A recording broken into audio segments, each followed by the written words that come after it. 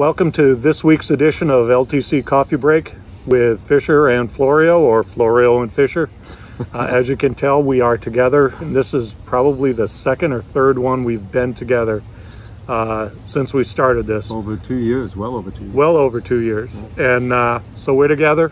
We're at a restaurant that is almost exactly the midpoint between Michael's house and mine in Tolland, uh, Tolland, Connecticut. It's called Camille's. It's a great place. So if you're ever in the neighborhood, exit 67, go to Big Y and stop in and grab a pizza at Camille's.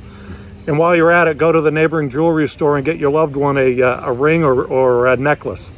So spend some money in our town. We're asking for it. Anyway, uh, we want to say uh, thank you for joining us. Mm -hmm. And I'm going to turn it over to Michael today and let him take it from here. Nothing to say except thanks for uh, you know supporting Kevin and I, especially Kevin moving forward. Uh, this will be the last coffee break that the two of us do together. Um, I am at the end of the month uh, hanging up the old briefcases, they say. I'm going into rocking chair land. I'm going to be retiring. Uh, so uh, all by all means, you've got a tremendous amount of support continuing from OneAmerica. Reach out to Kevin, uh, Justin Fox, his internal.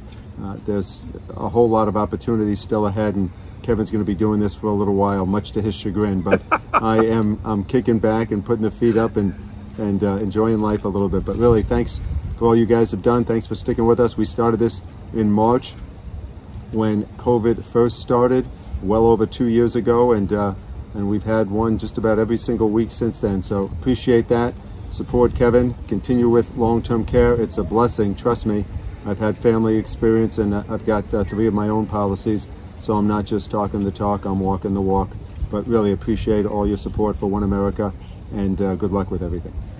Well, on behalf of everyone here at uh, LTC Coffee Break, and especially me to my very close friend Michael, here's to you. Cheers. Cheers. And it ain't coffee. Oktoberfest. Happy Oktoberfest.